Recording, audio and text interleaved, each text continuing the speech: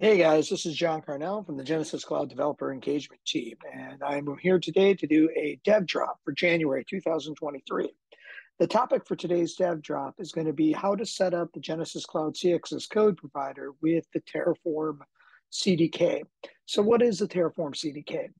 Uh, the Terraform CDK is a tool that was developed by HashiCorp, uh, modeled around the AWS CDK tool, that allows you to basically define Terraform projects using uh, a programming language. So rather than going out and defining your Terraform project using HCL or JSON, you can actually use your uh, favorite programming language to go and define objects and things like Python, Java, C Sharp, Go, and TypeScript.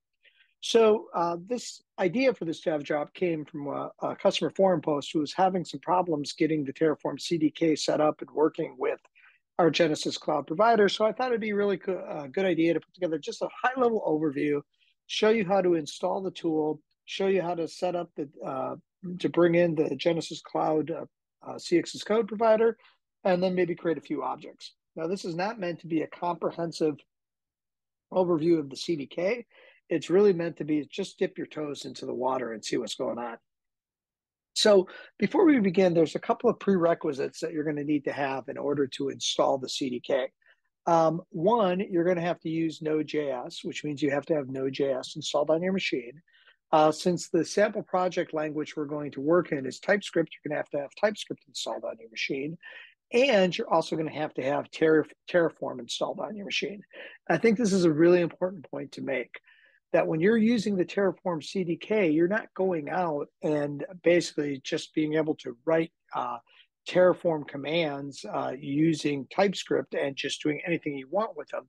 It literally is saying, I'm setting up my Terraform project with a backing state, executing it, but I'm able to define my objects in my specific language. So it's not just, it's not a general purpose programming tool where I can build whatever I want, and I'm just using these libraries to go out and interact with what I'm working on. So let's go ahead and first go and install the Terraform um, uh, CDK.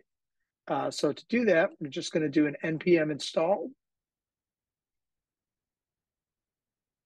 here, npm install, and it's basically going to pull down all of the required packages and get everything set up. Now, when you're using Terraform and you're using Terraform uh, in the more traditional manner, you use Terraform CLI to go and interact and carry out your tasks like deploying your Terraform stack or destroying it or doing a plan and so on and so forth. Uh, with the CDK, you're going to use a different command line tool. You're going to use a CDK TF command line tool. And so once we install that CDK uh, TF, we should be able to go out and you can see several commands that look very familiar to what we've done in Terraform. Uh, we have a, an initialization for initting a project. We have the CDK TF deploy. This would be the equivalent of the Terraform deploy, CDK TF uh, destroy, equivalent of the CDK destroy. So let's go out and um, let's go out and actually get everything set up. So what we're going to do is we're going to first create a project we want to host our direct uh, uh, a directory we want to host our project in. And so I'm going to create a directory called build queue and I'm going to change to it. Now, when we run the Terraform init command, we have to make sure that we are operating out of an empty directory. Otherwise, you'll get an error. So we're going to go out. We've changed to our build queue. And we're going to run cdk tf init with several different parameters. The first parameter is we're passing in dash dash template equals TypeScript that's telling the CDKTF that we want to generate language bindings for TypeScript. If we want to do Python, we would pass in a template of Python. And then we're passing in dash dash local, which tells the CDKTF that we're going to use a local backing state to maintain our Terraform state. So if you think about your Terraform projects, you either define a remote backend uh, or you define a local backing state. And that's where all of your objects, uh, the state of your objects are going to be defined and they're going to be compared against your targeted cloud environment. So uh, we need to have that here. And the last thing we're going to do is we're going to define the providers that we want in the project. Now you can add providers later on using the CDK TF provider add command. But right now, right off the bat, I'm going to start with a project that's going to be using the uh, Genesys Cloud CX as code provider. So let's go ahead and run this. And when we run it, it's going to ask me a couple of questions. It's going to ask me what my project name is going to be. It's going to ask me a description for the project. Do I want to import from an existing Terraform project, which you can actually do? You can take your Terraform HCL project that you already have out there, and you can basically uh, tell the CDKTF on an init to suck all of that content in and start managing managing it. And then do you want to report any bugs? So once this all runs, what we should see then, and we'll let this uh, complete, is we should now see a somewhat familiar directory structure if you're a TypeScript developer, right? Uh, this should be pretty familiar, right? We've got a main.ts, which we'll get into in a moment, but this is going to be the entry point into our TypeScript application. We have a package.json that's going to allow us to add additional Node.js libraries and dev dependencies if we want to work within it. We have a tsconfig.json object, which is going to allow us to set up and configure um, our TypeScript uh, project. Now, in addition to that, there might be a couple of files out here that you really are, are like, what are these? Uh, one of them is a cdk.tf.json file. So if you think about like a tsconfig.json tells the uh, TypeScript compiler how to behave and how to act, the cdk.tf.json is the mechanism in which you can tell the CDK what providers, what modules you're going to use, and any additional uh, flags you want to set associated with the CDK TF. For most of my day-to-day work, I am not going to directly touch this file. Instead, I'm going to be using the CDK TF command, and it will go and insert all the values in there and do the work in there. But I'm showing it to you guys because you might wonder what the heck is this about. The other interesting uh, directory out here is the .gen directory. Now, if you remember when we initialized our project, we went and said we're going to use the Genesys cloud provider. Well, what the CDK.tf does then is it goes out and generates all of these wrappers around the uh, Terraform resources and data sources associated with the provider you're going to use. Now, you can use more than one provider. Uh, we can have projects with Genesys Cloud and AWS and Azure and all that stuff in here. But if you go out here, you can see that we have all the resources that are part of the Genesys Cloud uh, Terraform provider, and we have all the data sources. So let's go ahead and go back and actually go and start looking at setting up our project. So we're going to go back to our main.ts. And our main.ts is going to basically define something called stack. And you'll see it here as the class my stack extends Terraform stack. And the easiest way to think about this is the stack is what is defining the resources that are going to be deployed using Terraform. So in our case, we've got a stack out here. And we're going to go out and we're going to start doing uh, some simple work. We're going to create a queue. We're going to define the Genesys Cloud provider. And so the first thing we've got to do is we've got to go out and import a couple of different project definitions. So I'm going to copy these and I'm going to bring them over here. And basically, this is how I am going to tell my uh, main.ts that I'm going to want to use the Genesys Cloud provider. This would be the equivalent of the provider block inside of the Terraform HCL. And I'm going to use a routing queue object. This would be the equivalent in our Terraform HCL of saying I want to basically, or I'm going to be using a Genesys Cloud underscore routing underscore queue resource. Now, to actually set these up, the first thing I'm going to do is I'm going to define a provider. And I'm going to grab my snippet of code over here. And inside of the constructor, I'm going to define my provider. And this is, again, the equivalent of defining a provider block in the Terraform HCL. And just like in our Terraform HCL, we can pass in parameters. We can pass in, like, we want to turn on SDK debugging, or we want to turn on our, uh, pass in our credentials for being used within uh, the uh, Genesys Cloud provider. In this particular case, I'm not turning on the SDK debugging, and all my environment variables are set for my Genesys Cloud ID and credentials, so I don't need to put anything in here. So we need to have the provider set up. If we don't have the provider set up, the code's not going to work. Now let's go ahead and set up an actual route and queue object. And the cool thing is, is once you kind of get the handle of um, the objects and their names, it's pretty much just like defining it in HCL, except you're using your programming language. So out here, I'm going to define a routing queue. This is again would be the equivalent of the Genesys Cloud underscore routing underscore queue resource. And every object running within that was generated by the CDK TF for my provider is going to always have as the first part of its constructor the scope. And the scope is what's going to basically tie this object to the stack. Now, the second thing we're going to have out here is the name of the resource. So just like in our Terraform resource, when you have a resource block, you define the type of resource you're going to use, and then you're going to give it a unique name. In this case, it's my simple CDK queue.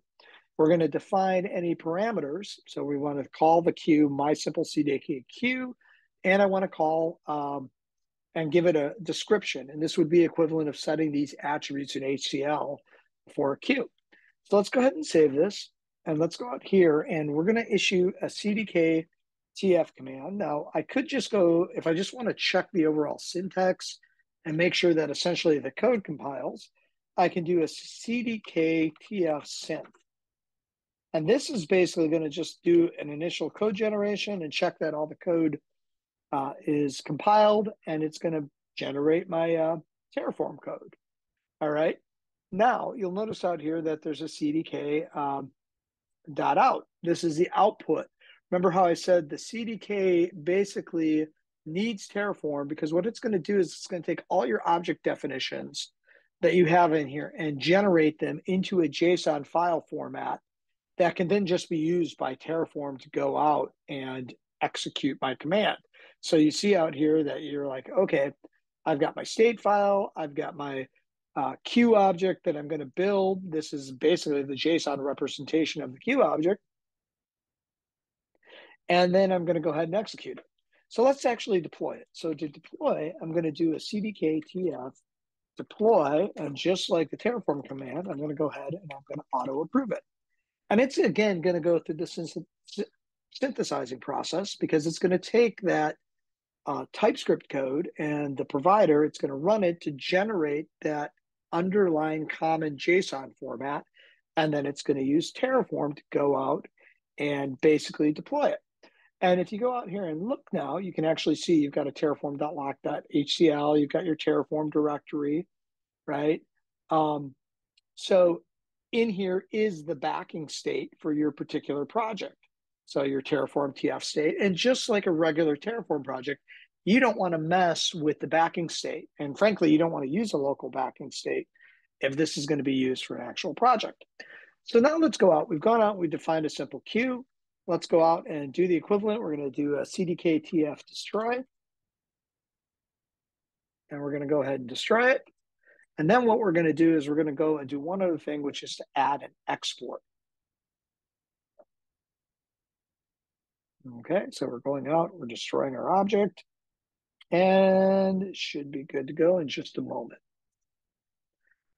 So doing an export is often a common task that people use our Terraform provider. They kind of sit there and they can use it for backing things up, or if they want to be able to look at what all the definitions are. So let's go out. We're going to add another class called the TF export.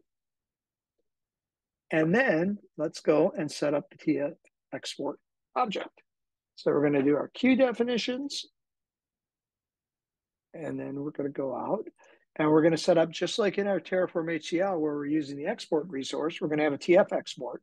We're going to define a directory with a relative path. And we're going to say we only want the routing queue objects. We want to include a state file and we want to export as HCL.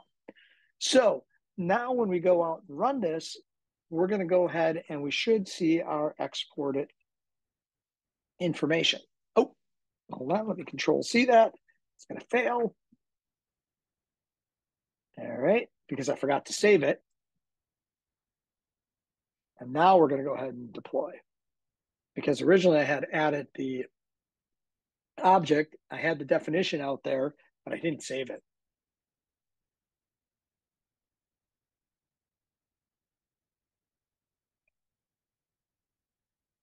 Okay, so we're going out, we're running the export.